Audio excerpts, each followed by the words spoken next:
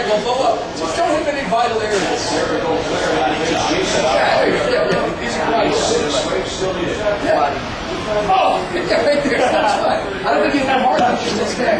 Hey, that's all. question you asked a while ago. I think we got here. So, Hey, you're gonna love seeing the shows in the game in action. Thanks so much. SportFight X, obviously, looking forward to seeing you guys in action. It happens Saturday night in North Atlanta Trade Center at Northwest. Get your tickets. I know a lot of folks walk up and get your tickets, but get them now so you and it. Lot. Thank you. Good job, man. Hey, we'll come back. The latest on what's going on with the owners. Are they out to lunch? Are they voting? And what the heck is uh, going on?